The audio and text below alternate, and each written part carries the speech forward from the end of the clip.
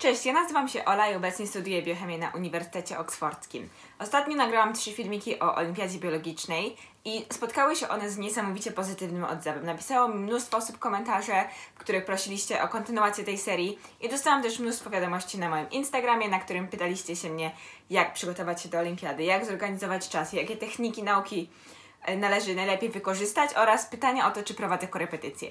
Ja uwielbiam uczyć, jednak moje studia są bardzo wymagające i nie mam czasu na prowadzenie korepetycji i chciałabym też, żeby ta wiedza o tym, jak przygotować się do olimpiady biologicznej, ale nie tylko, bo też do matury i do wszystkich sprawdzianów, które macie w szkole, była dostępna dla wszystkich za darmo, do jak największej liczby osób mogła ta wiedza docierać, ponieważ biologia jest super i uważam, że możliwość takiej pasjonacji biologią powinna być dostępna dla wszystkich.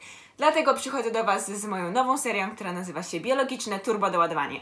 I w tej serii będziemy patrzyli na jakiś konkretny problem związany z daną dziedziną biologii. Będziemy robili szybką powtórkę materiału i potem pokażę Wam, jak zastosować wiedzę teoretyczną, którą właśnie nabyliście w zadaniach olimpijskich, maturalnych czy jakichkolwiek innych. Na razie skupiamy się tutaj na zadaniach z Olimpiady Biologicznej, ale jeżeli będziecie chcieli, żebym patrzyła też na różne inne zadania, to dajcie mi koniecznie znać w komentarzach.